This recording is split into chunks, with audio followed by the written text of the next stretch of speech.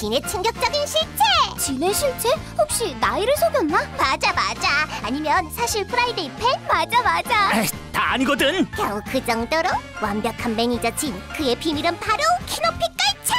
에? 그 높이가 무려 네, 네. 샤이닝 스타 15화 찰칵 찰칵. 음, 아, 특종 소리가 간다! 샤이닝 스타의 뉴스를 기대해주세요.